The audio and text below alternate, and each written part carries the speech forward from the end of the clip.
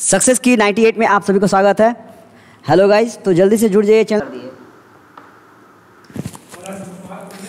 Hello guys, success की 98 में आप सभी का स्वागत है। मैं अरविंद मिश्रा, जीएस क्विज का दसवां क्लास लेके आप सभी के सामने आ चुका हूँ। तो जल्दी से जुड़ जाइए चैनल के साथ ताकि मैं क्लास को शुरू कर दूँ। तो जो जो नए जुड़े हैं चैनल के साथ, चैनल को सब्सक्राइब कर लीजिएगा और नोटिफिकेशन के बेल आइकन को ज़रूर दबा दीजिएगा। और इसके बावजूद भी अगर आपको नोटिफिकेशन नहीं मिलती है तो आप हमारे टेलीग्राम से जुड़ सकते हैं, जो कि है सक्सेस स्पेस की 98 और जैसा कि आपको सबको पता ही है कि सारे पी आपको मिल जाएँगे हमारे वेबसाइट पे, जो कि है www.successkey98.in और जो भी इच्छुक हैं, और हम, हमारा तो मानना है कि मुक टेस्ट आपको देना ही चाहिए एग्ज़ाम से पहले एक बार तो आप मुक टेस्ट जाकर दे सकते हैं W W W dot success key ninety eight dot www.successkey98.org पे। तो चलिए क्लास स्टार्ट करते हैं। आज का हमारा पहला प्रश्न, ए रहा आपके स्क्रीन पर, इसका उत्तर दीजिएगा। निम्नलिखित में से किससे फूल का निर्माण होता है? ए, दीजिएगा आंसर, फटाफट। ब्रायोफाइटा।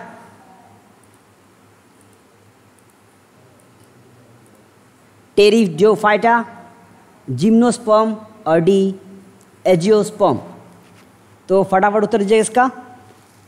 और काफ़ी आ रहा है आंसर्स यहाँ भी। मिक्स आंसर्स आ रहे हैं, सर। चलिए, कोई बात नहीं। तो इसका जो आंसर होगा, वो होगा एंजियोस्पर्म। एंजियोस्पर्म एक तरह से फ्लावर, इसका नाम ही है फ्लावर बर्निंग। तो ये जिम्नोस्पर्म की तरह ही काम करता है, लेकिन जिम्नो में क्या होता है कि लिप्स तैयार होते हैं। यहाँ पे क्या होते हैं? फ्लावर बेर करते हैं। चलिए, फूल का निर्माण होता है। अगला प्रश्न, दूसरा प्रश्न, ए रहा आपके स्क्रीन पर इसका उत्तर दीजिएगा। ऑक्सीजनित रक्त किसके माध्यम से हृदय से बाहर निकलता है? ए, महाधमनी, बी फेफड़ा धमनी सी ऊर्ध महाशिरा और डी परिस्कोष्ठ सर, वहाँ आवाज़ कम करेगा फटाफट उत्तर दीजिएगा। और बहुत बढ़िया यार, काफ़ी उत्तर सही आ रहा है यहाँ पे। जी हाँ एकदम सही उत्तर था महाधमनी। जो ऑक्सीजनेटेड रक्त होता है, वो हमारे हृदय से पंप होकर लेफ़्ट वेंट्रिकल से होते हुए अरोट्रा में आती है। तो जिन्होंने यहाँ पे आंसर दिया है, ए, उनका उत्तर एकदम सही था। तीसरा प्रश्न, ए रहा आपके स्क्रीन पर, इसका उत्तर दीजिएगा। कोवलेंट बॉन्ड को क्या कहा जाता है? संसंयोजक बॉन्ड को और क्या कहा जाता है? ए, आणविक bond B proton bond C नाभिक बॉन्ड या डी इलेक्ट्रॉन बॉन्ड तो फटाफट उत्तर दीजिएगा इसका भी। कोवलेंट बॉन्ड का दूसरा नाम क्या है? Molecular bond proton bond nucleus bond और इलेक्ट्रॉन बॉन्ड और बहुत बढ़िया यार, बहुत ब्रिलियंट काफ़ी उत्तर सही आ रहा था। जी हाँ मॉलिकुलर बॉन्ड आणविक बॉन्ड जिसको बोलते हैं, एकदम सही उत्तर है। वो केमिकल बॉन्ड है जो कि एटम में इलेक्ट्रॉन के जोड़ों को प्रवाहित करते हैं। चलिए, अगला प्रश्न चौथा ए रहा आपके स्क्रीन पर इसका उत्तर दीजिएगा। सल्फ़र और क्लोरीन में किस प्रकार का बॉन्ड हो सकता है? ए, ध्रुवीय संसंयोजक, B, polyionic, C non polar covalent और डी, आयोनिक। तो फटाफट उत्तर दीजिएगा इसका भी। सल्फ़र और क्लोरीन में किस प्रकार का बॉन्ड हो सकता है? ए ध्रुवीय संसंयोजक B polyionic C non polar और डी आयोनिक और काफ़ी आ रहा है यहाँ भी आंसर तो जी हाँ सी जिन्होंने यहाँ पे दिया है अध्रुवीय संसंयोजक non polar covalent that is the correct answer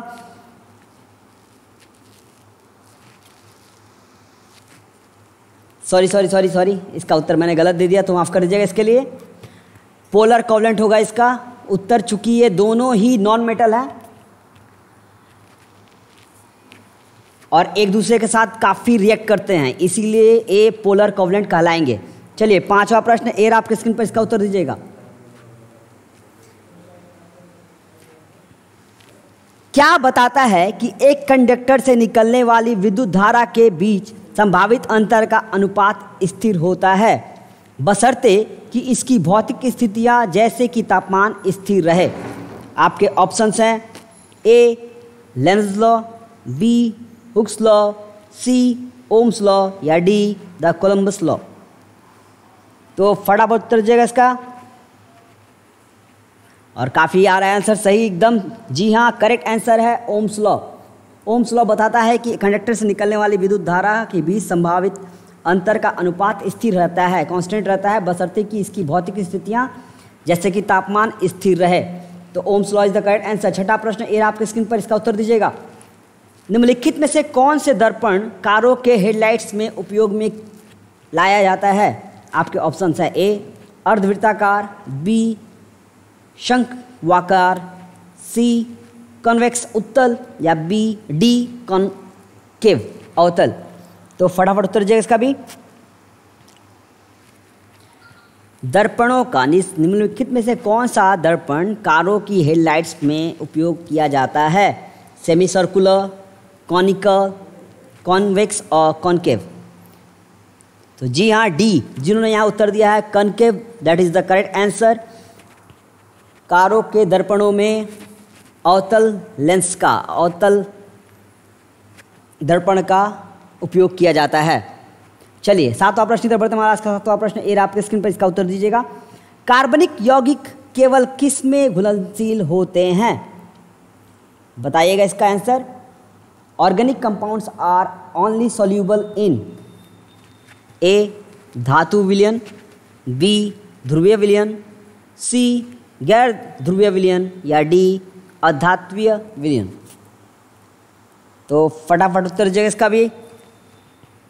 कार्बनिक यौगिक केवल किसमें घुलनशील होते हैं?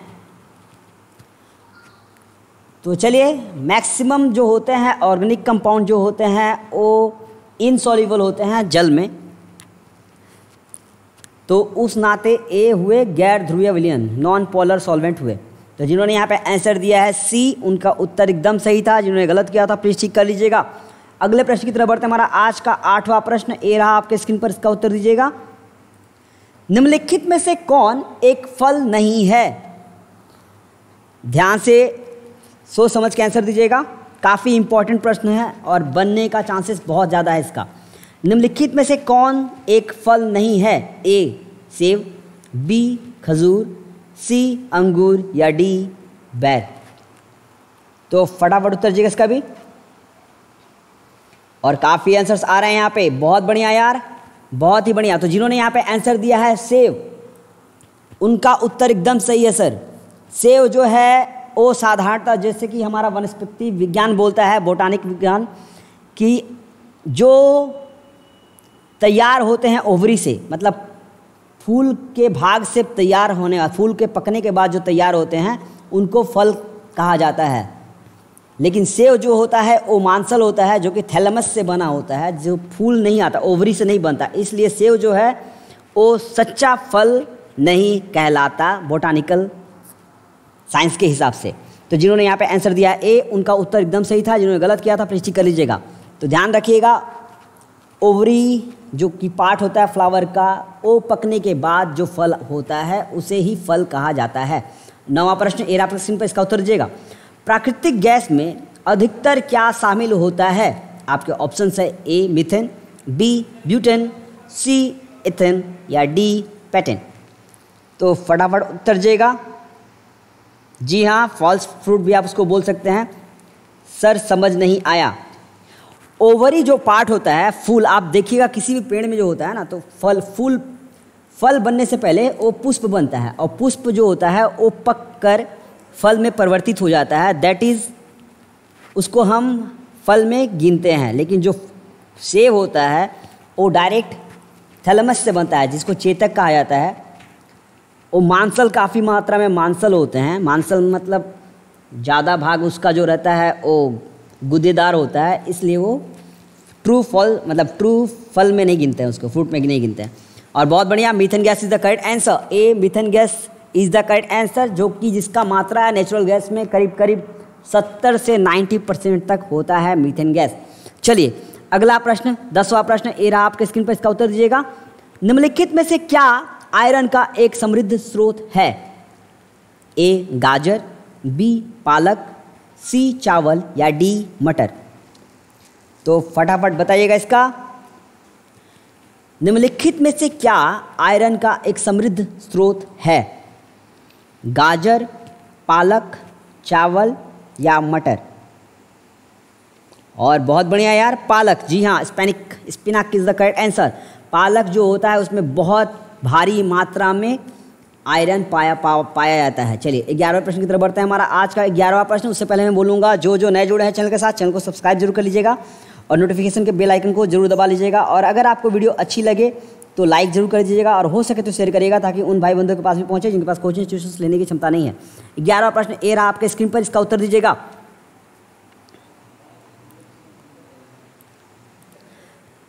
क्रायोजेनिक्स भौतिकी की एक शाखा है जो कि निम्नलिखित में से किससे संबंधित है? आपके ऑप्शंस हैं ए बहुत उच्च तापमान बी बहुत कम तापमान सी बेहद छोटी क्रिस्टल की वृद्धि या डी, बेहद बड़े क्रिस्टल का विकास। तो उत्तर दीजिएगा इसका। कोई बात नहीं, सॉरी मत बोलिए, आप बस जुड़ जाइएगा टाइम से, इसीलिए मैं बार बार बोलता हूँ कि टाइम देखकर ठीक साढ़े दस बजे चैनल के साथ जुड़ जाया करिए, ताकि आपको नोटिफिकेशन का वेट ही ना करना पड़े। तो चलिए कोई बात नहीं तो यहाँ पे जिन्होंने आंसर दिया है, जी हाँ बी वेरी लो टेम्परेचर बहुत कम तापमान से संबंधित है। क्रोयोजेनिक्स भौतिकी की एक शाखा है जो कि बहुत ही कम तापमान से संबंधित है। जिन्होंने उत्तर दिया है बी, उनका उत्तर सही था, जिन्होंने गलत किया था, ठीक कर लीजिएगा। बारहवें प्रश्न की तरफ़ बढ़ते हमारा आज का बारहवा प्रश्न ए रहा आपके स्क्रीन पर, इसका उत्तर दीजिएगा। भारी पानी क्या है? काफ़ी बार कराया हुआ प्रश्न है मेरा ये। तो आशा करता हूँ इसका उत्तर मुझे सही मिलेगा। आपके ऑप्शन है A, monoterium oxide, B, polyterium oxide, C, deuterium oxide, या डी, ट्राइसियम ऑक्साइड। तो फटाफट बताइएगा इसका आंसर। चलिए, बहुत बढ़िया। तो काफ़ी आ रहा है यहाँ पे। जी हाँ आंसर एकदम करेक्ट आंसर आया। Deuterium oxide D two O जिसको हम शॉर्ट में बोलते हैं डी टू ओ तो जिन्होंने यहाँ आंसर दिया है सी ड्यूटोरियम ऑक्साइड उनका उत्तर एकदम सही है, जिसे हम भारी पानी के नाम से भी जानते हैं। तेरहवा प्रश्न, एरा, आपके स्क्रीन पर इसका उत्तर दीजिएगा। मानव त्वचा में कितनी परतें होती हैं? How many layers does human skin have आपके ऑप्शन है ए पाँच बी सात सी ग्यारह, या डी तीन। तो फटाफट बताइएगा इसका। मानव त्वचा में कितने प्रकार की परतें होती हैं? How many layers does human skin have और काफ़ी आ रहा है आंसर मिक्स यहाँ पे। लेकिन जी हाँ डी तीन जिन्होंने दिया है आंसर, उनका उत्तर एकदम सही था, जिन्होंने गलत किया था। प्लीज़ ठीक कर लीजिएगा। और ओ तीन है एपिडर्मिस बी डर्मिस और तीन हाइपोडर्मिस। चौदह प्रश्न एर आपके स्क्रीन पर। आपका उत्तर दीजिएगा अच्छे से पढ़कर। ए, धातु की शुद्धता निर्धारित करने के लिए कौन सी विधि लागू की जा सकती है? Which method can be applied to determine the purity of a metal आपके ऑप्शन है ए बॉयल सिद्धांत बॉल्स लॉ बी आर्कमिडीज सिद्धांत Archimedes principle C Newton's law Newton का सिद्धांत, या डी पास्कल्स लॉ पास्कल का कानून। तो फटाफट उत्तर दीजिए इसका भी। धातु की शुद्धता निर्धारण किसके द्वारा, किस विधि के द्वारा किया जा सकता है? Boyle's law Archimedes principle Newton's law और पास्कल लॉ तो काफ़ी आ रहा है इसमें बहुत बढ़िया। तो जी हाँ B Archimedes law is the correct answer Archimedes principle के हिसाब से किसी भी धातु की शुद्धता का निर्धारण किया जा सकता है। पंद्रहवा प्रश्न एर आपके स्क्रीन पर इसका उत्तर दीजिएगा। अमीनो एसिड है क्या? ए कार्बोहाइड्रेट के building block B nucleic acid के बिल्डिंग ब्लॉक सी लिपिड के बिल्डिंग ब्लॉक या डी प्रोटीन के बिल्डिंग ब्लॉक। तो फटाफट उत्तर दीजिएगा इसका भी। Amino acids are building blocks of carbohydrate building blocks of nucleic acid building blocks of lipids और D building blocks of protein और बहुत बढ़िया, बहुत ही बढ़िया तो काफ़ी आंसर्स भारी मात्रा में आंसर से आए, यहाँ पे आए बिल्डिंग ब्लॉक्स ऑफ़ प्रोटीन जी हाँ जो कि हमारे शरीर के मसल्स को गेन करने में सहायक होती है। बहुत बढ़िया। अगला प्रश्न, सोलहवा प्रश्न, ए रहा आपके स्क्रीन पर, इसका उत्तर दीजिएगा। डायलिसिस, दोषपूर्ण गुर्दे वाले लोगों के लिए उपयोग किया जाता है। इसमें किस प्रकार की प्रक्रिया सम्मिलित है? आपके ऑप्शन है A adsorption सोखन B osmosis osmosis C electrophoresis या डी प्रसार डिफ्यूजन तो फटाफट उत्तर दीजिएगा इसका भी। डायलिसिस दोषपूर्ण गुर्दे वाले लोगों के लिए मतलब डायलिसिस जो होता है इफ़ेक्टिव किडनी के लिए वो किस प्रकार की प्रक्रिया में शामिल है निम्नलिखित में से? सोखना, असमस इलेक्ट्रोफ्रिस और प्रसार। तो काफ़ी यहाँ पे मिक्स आंसर्स आ रहे हैं। तो जी, जिन्होंने आंसर दिया है, बी ऑस्मोसिस ऑस्मोसिस वो प्रक्रिया है जो कि डायलिसिस के समय काम करती है। तो जिन्होंने यहाँ पे आंसर दिया, बी, उनका उत्तर एकदम सही था, जिन्होंने गलत किया था, प्लीज़ ठीक कर लीजिएगा। अगले प्रश्न की तरफ़ बढ़ते हमारा आज का सत्रहवा प्रश्न, ए आपके स्क्रीन पर। आशा करता हूँ इसका उत्तर तो सही मिलेगा। किसी पौधे की कौन सी विशेषता एक हाइकोट और मोनोकोट में अंतर पहचानने में सहायता करती है? आपके ऑप्शन है ए, परागण, बी, वेनेशन सी वर्नेशन या डी पुष्पदल विन्यास। तो फटाफट उत्तर दीजिए इसका भी। और काफ़ी मात्रा में आ रहे हैं आंसर्स चलिए तो बहुत बढ़िया। तो जिन्होंने यहाँ पे आंसर दिया है बी वेनेशन वेनेशन जो प्रक्रिया होती है, जो पत्तियों में नसें जो दिखती हैं ओ उनको बोलते हैं उस प्रक्रिया को वेनेशन। तो वेनेशन के द्वारा हाईकोर्ट और मोनोकोट में अंतर पहचानने में सहायता होती है। तो जिन्होंने यहाँ पे आंसर दिया है, बी, उनका उत्तर एकदम सही था, जिन्होंने गलत किया था फिर ठीक कर लीजिएगा। अट्ठारहवें प्रश्न की तरफ़ बढ़ते हमारा, आज का अट्ठारहवा प्रश्न ए रहा आपके स्क्रीन पर, इसका उत्तर दीजिएगा। निम्नलिखित में से किस तत्व का गलनांक बिंदु न्यूनतम है? कौन सा तत्व एलिमेंट का सबसे लोएस्ट मेल्टिंग पॉइंट है? आपके ऑप्शन हैं A, helium, B, potassium C tungsten या डी सल्फ़र। तो फटाफट उत्तर दीजिए इसका भी। Which of the following elements has the lowest melting point helium potassium tungsten और सल्फ़र तो काफ़ी आ रहे हैं आंसर यहाँ भी। तो जी हाँ A helium is the correct answer दिए हुए ऑप्शनों में हीलियम का गलनांक बिंदु सबसे कम है, न्यूनतम है। उन्नीसवें प्रश्न की तरफ़ बढ़ते हमारा आज का उन्नीसवा प्रश्न ए आपके स्क्रीन पर इसका उत्तर दीजिएगा। निम्नलिखित में से किसकी परमाणु संख्या फास्फोरस की परमाणु संख्या से अधिक है? तो आपके ऑप्शन हैं A aluminium B silicon C chlorine या डी मैग्नीशियम तो सबसे पहले फॉस्फोरस का जो है, वो कितना है? वो है पंद्रह एटमिक नंबर तो निम्नलिखित में से किसका एटमिक नंबर ज़्यादा है? तो फटाफट उत्तर दीजिएगा इसका। और काफ़ी आंसर्स आ रहे हैं यहाँ भी।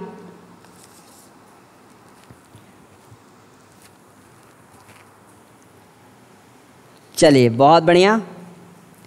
तो जी हाँ C chlorine is the correct answer chlorine का एटमिक नंबर है सत्रह, जिसकी वजह से ए फॉस्फोरस से ज़्यादा हो जाता है। बाकी का तो एल्यूमिनियम का तेरह सिलोकोन का चौदह और मैग्नीशियम का है बारह। तो बार बार मैं बोल रहा हूँ और बोलता हूँ कि कोशिश करिएगा कि आप जितने भी एलिमेंट्स हैं, उनके सांकेतिक नाम नाम मतलब सिंबल्स और उनका परमाणविक आणविक नंबर एटमिक नंबर आप याद कर लें तो बहुत बढ़िया होगा क्योंकि इनसे प्रश्न बन रहे हैं और बनते हैं। बीसवा प्रश्न, ए आपके स्क्रीन पर इसका उत्तर दीजिएगा। किस प्रकार का रोगजनक जल, जनित रोग हेपेटाइटिस ए का कारण बनता है? आपके ऑप्शंस हैं ए पैरासाइटिक परजीवी बी वायरल सी प्रोटोजोआ या डी बैक्टीरियल तो फटाफट बताइएगा इसका आंसर निम्नलिखित में से कौन सा प्रकार जल, जनित रोग हेपेटाइटिस ए का कारण बनता है? पैरासिटिक वायरल प्रोटोजोआ और बैक्टीरियल तो काफ़ी यहाँ पे मिक्स आंसर्स आ रहे हैं तो हेपेटाइटिस ए ए जो है ए बीमारी है वायरल जो कि वाटर बर्न या फ़ूड बर्न के चलते जल जनित या खाद्य जनित रोग के चलते होता है। खाने या पानी में वायरस होने की वजह से ये बीमारी हो जाती है। तो जिन्होंने यहाँ आंसर दिया बी उनका उत्तर एकदम सही था। जिन्होंने गलत किया था प्लीज़ ठीक कर लीजिएगा अगले प्रश्न की तरफ़ बढ़ते हैं हमारा। आज का इक्कीसवा प्रश्न। ए रहा आपके स्क्रीन पर, उत्तर दीजिएगा। निम्नलिखित में से क्या एक प्राकृतिक विद्युत घटना है जो कि आकाश में लाल या हरे रंग के प्रकाश के प्रसारकों की उपस्थिति के कारण होती है? विशेषकर उत्तरी या दक्षिणीय चुंबकीय ध्रुव के पास। आपके ऑप्शन है ए इकोलिस बी एलाटस सी एल्बोपिक्टस या डी औरोरा तो फटाफट उत्तर दीजिएगा इसका भी। Which is the natural electrical phenomena characterise by the appearance of streamers of reddish and greenish light in the sky specially near the northern and southern magnetic pole और काफ़ी answers आ रहे हैं यहाँ भी मिक्स तो डी ओरोरा जिन्होंने दिया है आंसर उनका उत्तर एकदम सही है। ओरोरा एक प्राकृतिक विद्युत घटना है जो कि आकाश में लाल और हर रंग के प्रकाश को प्रसारक उपस्थिति के कारण होती है। अगला प्रश्न, बाईसवा प्रश्न ए आपके स्क्रीन पर इसका उत्तर दीजिएगा। पृथ्वी की भूपट्टी में मुख्यतः निम्नलिखित में से क्या है?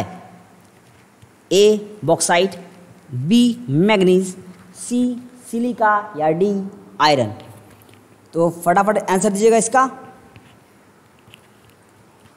Earth crust mainly contents A bauxite B manganese C silica या डी आयरन तो काफ़ी यहाँ पे मिक्स आंसर्स आ रहे हैं तो जी हाँ जिन्होंने यहाँ पे आंसर दिया है। C silica that is the correct answer silica जो है, उसकी मात्रा मोर देन 90 परसेंट होती है अर्थ क्रस्ट में, पृथ्वी की भूपट्टी में, जो कि ऑक्सीजन के साथ सबसे ज़्यादा मिलने वाला तत्व है। चलिए, अगले प्रश्न की तरफ़ बढ़ते हैं। तेईसवा प्रश्न एर आपके स्क्रीन पर इसका उत्तर दीजिएगा। लेजर का आविष्कार किसने किया? आपके ऑप्शन हैं A William Friese Greene B Arthur Fry C Gordon Gould या डी ओटो वन यूरिक तो फटाफट उत्तर दीजिएगा इसका भी। Who invented laser William Friese Greene Arthur Fry Gordon Gould या ऑटो वन यूरिक तो काफ़ी मिक्स आंसर्स यहाँ भी आ रहे हैं, लेकिन ज़्यादातर आंसर सही भी मिल रहे हैं इसमें। तो जी हाँ जिन्होंने आंसर दिया है Gordon Gould that is the correct answer Gordon Gould is widely but not universally मतलब बहुत ज़्यादा जाना जाते हैं अपने लेज़र के आविष्कार के लिए, लेकिन यूनिवर्सली नहीं यूनिवर्सली काफ़ी पॉपुलर नहीं है। तो उन्नीस सौ उनसठ में इन्होंने लेज़र का आविष्कार किया था। और इनके बाद जो प्रचलित हैं, ज़्यादा नाम उनका है, वो है थोडर एच नेमन। उनको भी माना जाता है कि 1960 में उन्होंने लेज़र का आविष्कार किया था। तो आप ध्यान रखिएगा Gordon Gould is the correct answer यहाँ पे। चौबीसवा प्रश्न एर आपके स्क्रीन पर, इसका उत्तर दीजिएगा। एक असामान्य जीव कैसे पुनरुत्पादन करता है? How does a unicellular organism reproduce आपके ऑप्शन है ए सेल डिवीज़न कोशिका विभाजन से बी कोशिका प्रजनन से सी कोशिका संश्लेषण से, या डी इनमें से कोई भी नहीं। तो फटाफट उत्तर दीजिए इसका। How does a unicellular organism reduces reproduces तो काफ़ी आंसर्स यहाँ पे आ रहे हैं। जी हाँ एकदम बहुत ही बढ़िया। तो यूनिसेलुलर ऑर्गेनिज्म जो होते हैं, वो सेल डिवीज़न के द्वारा पुनरुत्पादन करते हैं। तो जिन्होंने यहाँ पे आंसर दिया है ए उनका उत्तर एकदम सही था, जिन्होंने गलत किया था प्लीज़ ठीक कर लीजिएगा।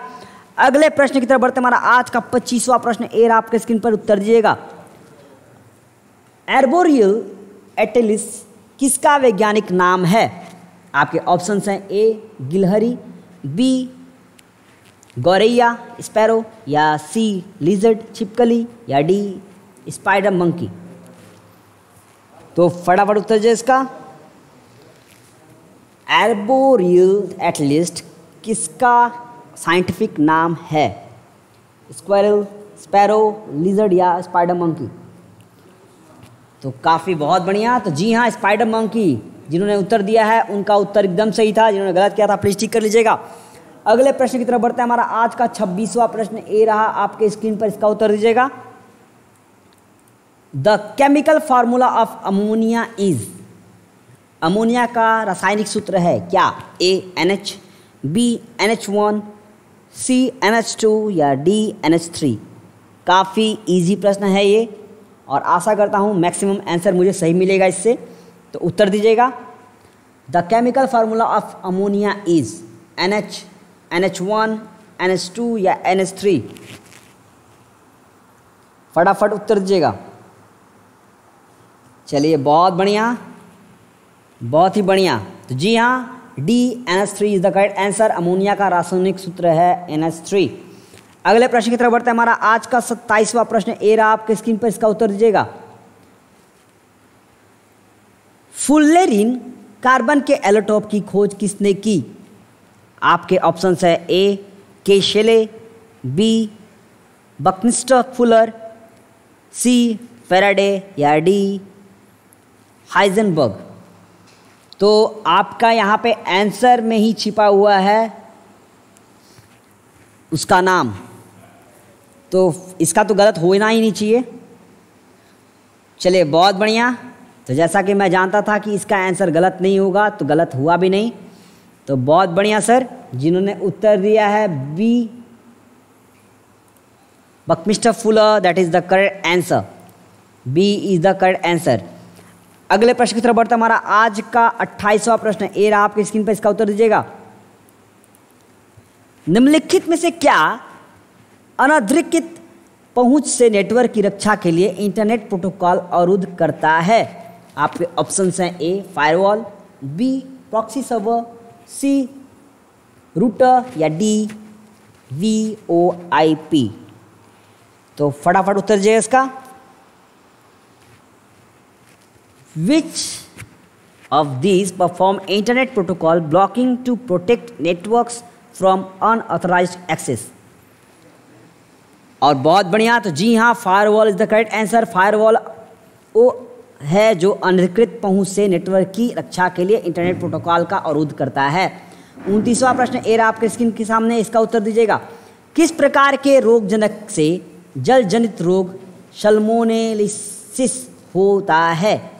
आपके ऑप्शंस हैं ए अलगत बी परिजीवी सी बैक्टीरिया या D viral which type of pathogen the waterborne disease salmonellosis?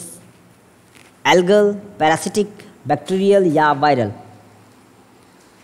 तो बहुत बढ़िया, काफ़ी आ रहे हैं अभी आंसर्स तो जी हाँ जिन्होंने यहाँ पे आंसर दिया है सी बैक्टीरियल उनका उत्तर एकदम सही है। जिन्होंने गलत किया था प्लीज़ ठीक कर लीजिएगा। अगले प्रश्न की तरफ़ बढ़ते हमारा आज का तीसवा प्रश्न ए रहा आपके स्क्रीन पर। आशा करता हूँ इसका भी उत्तर एकदम सही मिलेगा मुझे। इनमें से कौन सी हलन गैस नहीं है? आपके ऑप्शन हैं A, methane, B, carbon tetrachloride, C iodomethane या डी, ब्रोमोमिथेन। तो फटाफट उत्तर दीजिएगा इसका भी। Which of the following is not a halon gas काफ़ी आ रहे हैं यहाँ पे। चलिए, बहुत बढ़िया। तो जिन्होंने यहाँ पे आंसर दिया है सर ए मिथन। उनका उत्तर सही था, जिन्होंने गलत किया था प्लीज़ ठीक कर लीजिएगा। चलिए, अगले प्रश्न की तरफ़ बढ़ते हैं। हमारा आज का इकतीसवा प्रश्न, उससे पहले मैं एक बार फिर से बोलूँगा जो जो नए जुड़े हैं चैनल के साथ चैनल को सब्सक्राइब ज़रूर कर लीजिएगा और नोटिफिकेशन के बेल आइकन को दबाना तो बिल्कुल ही ना भूलिएगा, क्योंकि वही वो ज़रिया है जो हमें आपसे जोड़ता है। एक तीसरा प्रश्न ए आपके स्क्रीन पर, इसका उत्तर दीजिएगा। निम्नलिखित में से क्या एक ऐसी स्थिति है जिसमें रक्त कोशिकाओं या रक्त में हीमोग्लोबिन की कमी हो जाती है? आपके ऑप्शन हैं A albinism B porphyria C anaemia या D keloid disorder welcome sir, जो नए हैं, ज़रूर सब्सक्राइब कर लीजिएगा चैनल को। और जितने भी आपने मिस किए हैं, सारे के सारे पीडीएफ हमारे सक्सेस की 98 डॉट इन पर दिए हुए हैं तो आप वहाँ से डाउनलोड कर लीजिएगा, सर। तो बहुत बढ़िया, बहुत ही बढ़िया। तो जी हाँ anaemia is the correct answer जिन्होंने उत्तर दिया है सी एनेमिया उनका उत्तर एकदम सही था। जिन्होंने गलत किया था प्लीज़ ठीक कर दीजिएगा। चलिए, अगले प्रश्न की तरफ़ बढ़ते हैं हमारा आज का बत्तीसवा प्रश्न, और काफ़ी ईजी प्रश्न है। आशा करता हूँ इसका उत्तर तो आप चुटकी में देंगे sir Ananas comosus is a scientific name of Ananas co comosus किसका वैज्ञानिक नाम है? आपके ऑप्शन है ए कस्टर्ड एप्पल बी अनानस बी बाँस या डी अनार। तो फटाफट उत्तर दीजिएगा इसका, सर, गलत ना करिए। पूरा का पूरा आंसर ये वाला दिया हुआ है। अगर इसको आप इन सबको गलत करिएगा तो सर, बहुत गड़बड़ हो जाएगा। तो इसको तो गलत करिएगा ही मत। अनास कोमोसस किसका वैज्ञानिक नाम है? आपका ऑप्शन है A custard apple B pine C bamboo या डी ग्रेनेट तो काफ़ी आ रहा है, यहाँ भी मिक्स लेकिन मिक्स आना नहीं चाहिए था सर क्योंकि यहाँ ऑलरेडी नाम में ही छिपा था, देखिए, अनानस।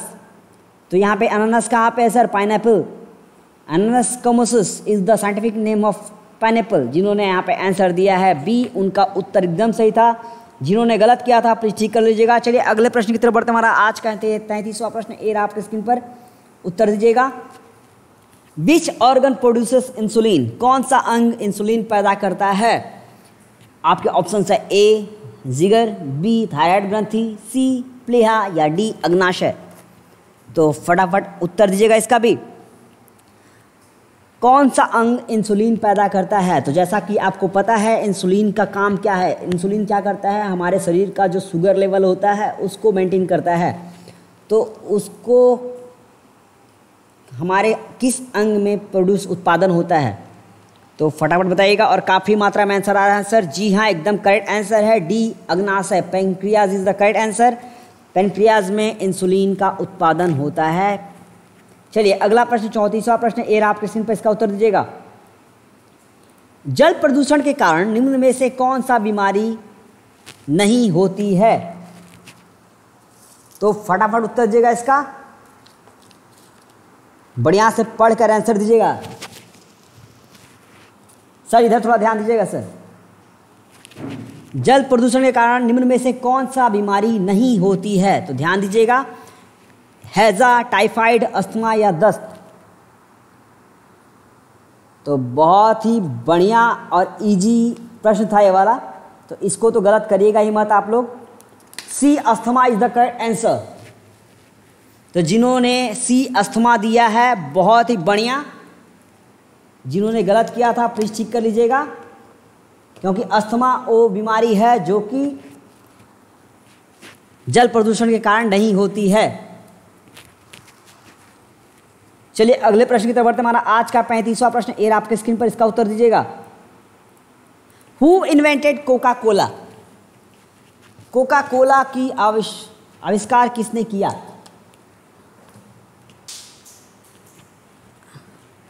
आपके ऑप्शन है A Floyd Paxton Paxton B Les Paul C John Pemberton D Forrest Perry Coca Cola का आविष्कार किसने किया? और बहुत बढ़िया यार, काफ़ी मात्रा में आंसर सही है जी हाँ John Pemberton is the correct answer John Pemberton ने छियासी में कोका कोला का आविष्कार किया। चलिए, अगले प्रश्न की तरफ़ बढ़ते हमारा आज का छत्तीसवां प्रश्न ए आपके स्क्रीन पर, इसका उत्तर दीजिएगा। अनुदैर्ध्य तरंगों का एक उदाहरण, एक माध्यम के रूप में गैस में है क्या? निम्न में से कौन सा? ए उष्मा तरंगे बी रेडियो तरंगे सी विद्युत चुंबकीय तरंगे, या डी ध्वनि तरंगे। An example of longitudinal waves और बहुत ही बढ़िया यार, काफ़ी मात्रा में सही आंसर आ रहे हैं यहाँ भी। तो जी हाँ sound waves is the correct answer longitudinal waves जो है, उसका उदाहरण है साउंड वेब्स तो जिन्होंने यहाँ पे दिया है ध्वनि, तरंगे, उनका उत्तर एकदम सही था। जिन्होंने गलत किया था, फिर ठीक कर लीजिएगा। सैंतीसवा प्रश्न ए आपके स्क्रीन पर इसका उत्तर दीजिएगा। हु इन्वेंटेड पोस्टेज स्टाम्प ये प्रश्न मैंने कुछ दिन पहले ही करवाया था तो आशा करता हूँ इसका उत्तर भी मुझे सही मिलेगा। डाक टिकट का आविष्कार किसने किया? आपके ऑप्शन हैं A, Ruth Handler, B, John Harington, C Rowland Hill, और डी, फेलिक्स हॉकमैन। तो फटाफट उत्तर दीजिएगा इसका भी। पोस्टेज स्टाम्प का आविष्कार किसने किया? Ruth Handler, John Harington Rowland Hill या फेलिक्स हॉफमैन और बहुत बढ़िया यार तो मिक्स यहाँ पे आंसर आ रहे हैं, लेकिन कुछ हैं जो जानते हैं और पढ़ रहे हैं बहुत अच्छे। तो जी हाँ Rowland Hill is the correct answer 1840 में इन्होंने पहला पोस्टेज स्टाम्प की शुरुआत की थी। अड़तीसवा प्रश्न एर आपके स्क्रीन पर इसका उत्तर दीजिएगा। निम्नलिखित में से कौन सा पदार्थ की चौथी स्थिति है?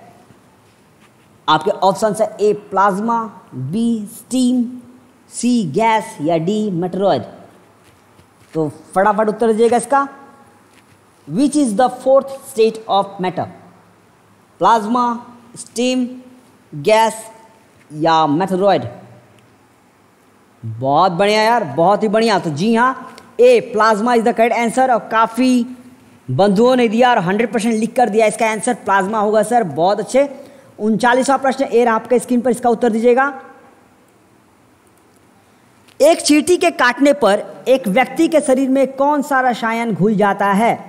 आपके ऑप्शंस हैं A formic acid B acetic acid C tartaric acid या डी साइट्रिक एसिड तो फटाफट बताइएगा इसका आंसर एक चींटी के काटने से व्यक्ति के शरीर में कौन सा रसायन केमिकल घुल जाता है?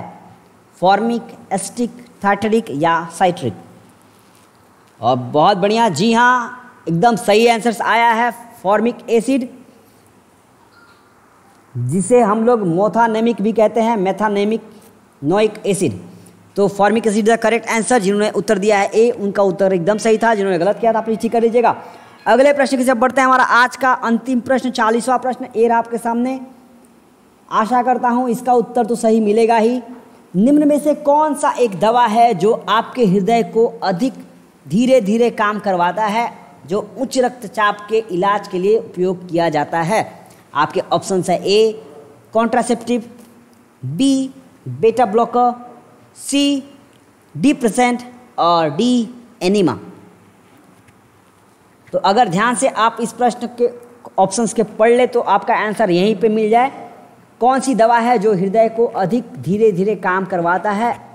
उच्च रक्तचाप के इलाज के लिए उपयोग किया जाता है। आपके ऑप्शंस हैं गर्भ निरोधक आप तो ऐसे ही नया, नहीं हो गया। बेटा अवरोधक डेप्रिसेंट और एनिमा।